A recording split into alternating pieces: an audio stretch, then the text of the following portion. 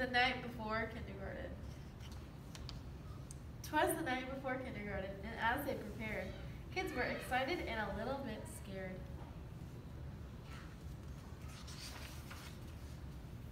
They tossed and they turned about in their beds, while visions of school supplies danced in their heads.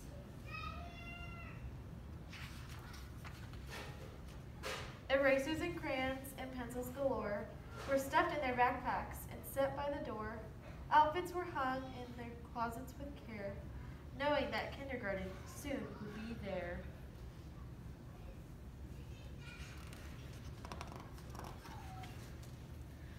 Parents packed snacks and kids hopped in cars as if they were boarding a spaceship to Mars.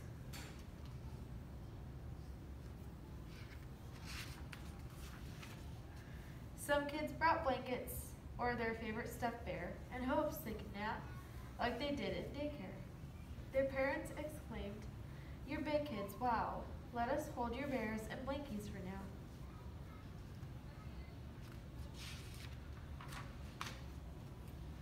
The parents were worried their children would cry if they left them at school with just a goodbye. So they told their darlings, if you want, we can stay and make sure that everything will be a-okay.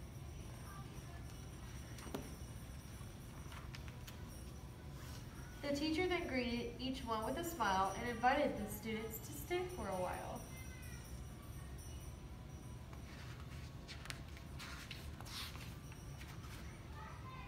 The room was all filled with toys, books, and maps, but where were the beds for mid-morning naps?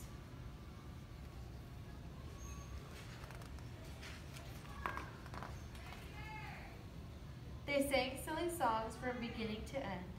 Within just a minute, each kid had a friend.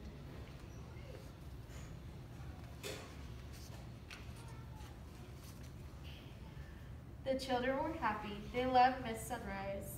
It was she who was in for a giant surprise.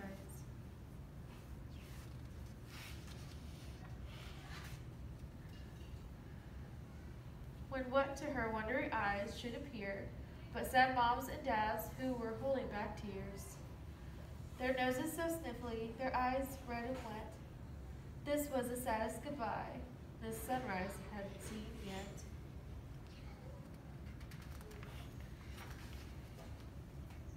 She gathered the grown-ups on the magical rug, then sent them away after one final hug.